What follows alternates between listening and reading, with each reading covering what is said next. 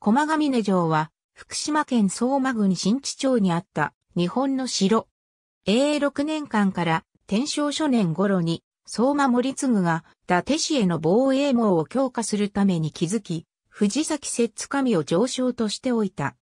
天正17年5月に伊達政宗の家臣、渡重宗が駒ヶ峰城を攻略すると、政宗は黒木宗春を上司とした。この時に政宗が獲得した歌郡北部は幕末に至るまで仙台藩の所領となり、駒ヶ峰城は浜通りの伊達両西南端の城塞となった。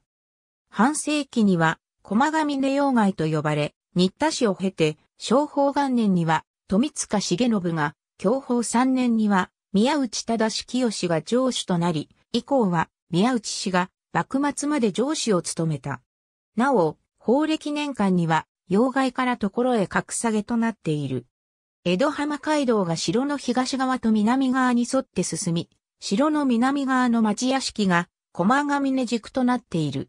宿場の西側に境目番所があり、町屋敷の南側には川を挟んで足軽屋敷が立ち並び防衛線を形成していた。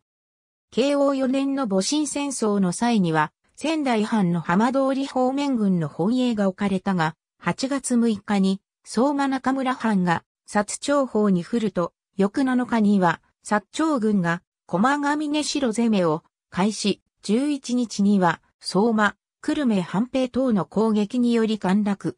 仙台藩は16日と20日の2度にわたって奪還作戦を仕掛けたが、いずれも失敗に終わった。本丸跡には定石碑と案内板が、南読には、戦士塚及び、仙台半死母神戦没の日が経つ。ありがとうございます。